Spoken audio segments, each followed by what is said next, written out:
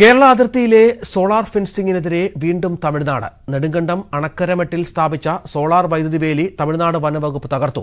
പ്രശ്നപരിഹാരത്തിന് നടപടികൾ സ്വീകരിക്കാൻ ഇടുക്കി ജില്ലാ ഭരണകൂടം തയ്യാറാകുന്നില്ലെന്നാണ് പ്രദേശവാസികളുടെ പരാതി. കാട്ടാന ആക്രമണം രൂക്ഷമായ അണക്കരമെട്ടിൽ നെടുങ്കണ്ടം ഗ്രാമപഞ്ചായത്തിന്റെ നേതൃത്വത്തിലാണ് സോളാർ ഫെൻസിംഗ് ഒരുങ്ങുന്നത്. ഫെൻസിംഗ് സ്ഥാപിക്കുന്ന മുന്നൂറ് മീറ്റർ ഭാഗം തമിഴ്നാട് വനമേഖലയിൽ ഉൾപ്പെടുന്നതാണെന്നാണ് തമിഴ്നാട് വനം വകുപ്പിന്റെ വാദം.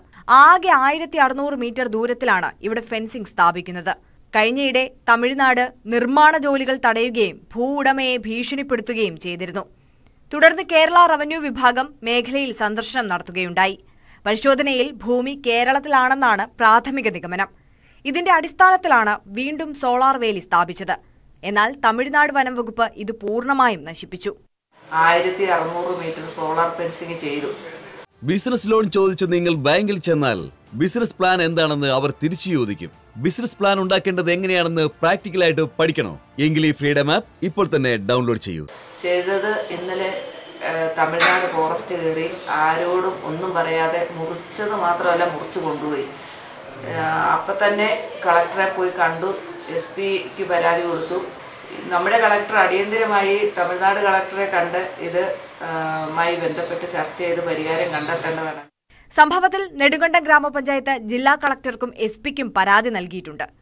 ഇരു സംസ്ഥാനങ്ങളും കൂടിയാലോചിച്ച് സർവേ നടത്തി അതിർത്തി തർക്കം പരിഹരിക്കണമെന്നാണ് നാട്ടുകാരുടെ ആവശ്യം. News eighteen Idukki. കോഴിക്കോട് കോട്ട് കേരള അതിർത്തിയിലെ സോളാർ ഫെൻസിംഗിനെതിരെ വീണ്ടും തമിഴ്നാട്. നെടുങ്കണ്ടം അണക്കരമെട്ടിൽ സ്ഥാപിച്ച സോളാർ വൈദ്യുതി വേലി തമിഴ്നാട് വനവകുപ്പ് തകർത്തു. പ്രശ്നപരിഹാരത്തിന് നടപടികൾ സ്വീകരിക്കാൻ ഇടുക്കി ജില്ലാ ഭരണകൂടം തയ്യാറാകുന്നില്ലെന്നാണ് പ്രദേശവാസികളുടെ പരാതി. കാട്ടാന ആക്രമണം രൂക്ഷമായ അണക്കരമെട്ടിൽ നെടുങ്കണ്ടം ഗ്രാമപഞ്ചായത്തിന്റെ നേതൃത്വത്തിലാണ് സോളാർ ഫെൻസിംഗ് ഒരുങ്ങുന്നത്. ഫെൻസിംഗ് സ്ഥാപിക്കുന്ന മുന്നൂറ് മീറ്റർ ഭാഗം തമിഴ്നാട് വനമേഖലയിൽ ഉൾപ്പെടുന്നതാണെന്നാണ് തമിഴ്നാട് വനം വകുപ്പിന്റെ വാദം. ആകെ ആയിരത്തി അറുന്നൂറ് മീറ്റർ ദൂരത്തിലാണ് ഇവിടെ ഫെൻസിംഗ് സ്ഥാപിക്കുന്നത്. കഴിഞ്ഞയിടെ തമിഴ്നാട് നിർമ്മാണ ജോലികൾ തടയുകയും ഭൂ ഉടമയെ ഭീഷണിപ്പെടുത്തുകയും ചെയ്തിരുന്നു. തുടർന്ന് കേരള റവന്യൂ വിഭാഗം മേഖലയിൽ സന്ദർശനം നടത്തുകയുണ്ടായി. പരിശോധനയിൽ ഭൂമി കേരളത്തിലാണെന്നാണ് പ്രാഥമിക നിഗമനം. ഇതിന്റെ അടിസ്ഥാനത്തിലാണ് വീണ്ടും സോളാർ വേലി സ്ഥാപിച്ചത്.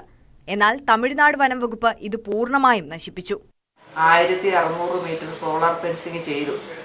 ചെയ്തത് ഇന്നലെ തമിഴ്നാട് ഫോറസ്റ്റ് കയറി ആരോടും ഒന്നും പറയാതെ മുറിച്ചത് മാത്രമല്ല മുറിച്ച് കൊണ്ടുപോയി. അപ്പം തന്നെ കളക്ടറെ പോയി കണ്ടു എസ് പിക്ക് പരാതി കൊടുത്തു. നമ്മുടെ കളക്ടർ അടിയന്തിരമായി തമിഴ്നാട് കളക്ടറെ കണ്ട് ഇത് മായി ബന്ധപ്പെട്ട് ചർച്ച ചെയ്ത് പരിഹാരം കണ്ടെത്തേണ്ടതാണ്.